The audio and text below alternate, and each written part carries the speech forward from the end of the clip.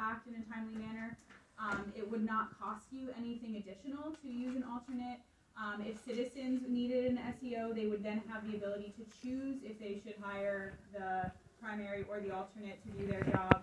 Um, there's no reason not to, and, um, because it's your duty to make sure that things get done in a timely manner, I think that having them, um, would, would not harm the township. That's what I got from my research. Thank you very much. I have a comment on that. Supervisor Watson?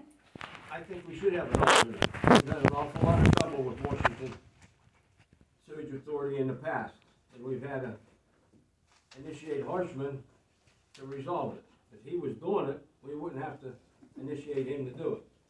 I think, uh, we should have him as an alternate, it's my opinion.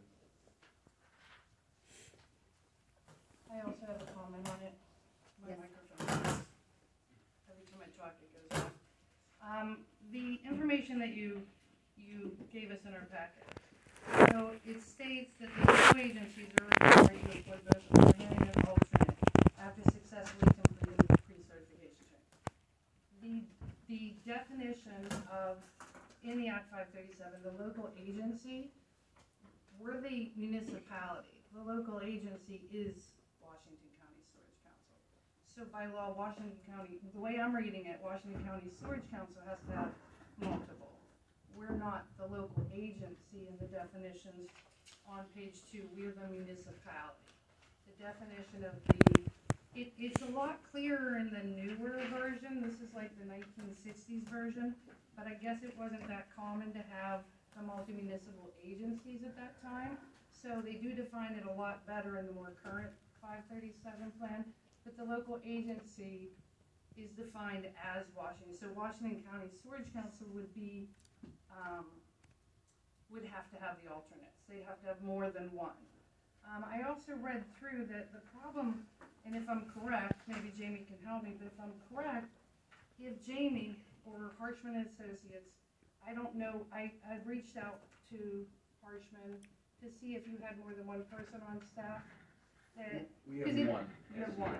So technically, I'm not sure that Harshman wouldn't have to also have an alternate, because he would be the local agency.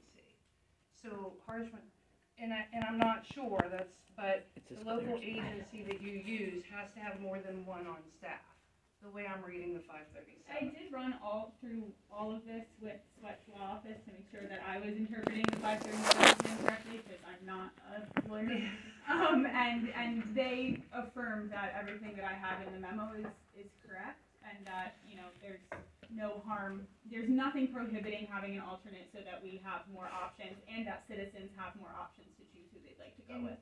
And the way I, and again, I'd have to count on sweat law, but the way I'm reading the Act five thirty-seven, if we use Mr. Harshman, because he's our engineer, his fee, we would have to adopt a fee schedule for him.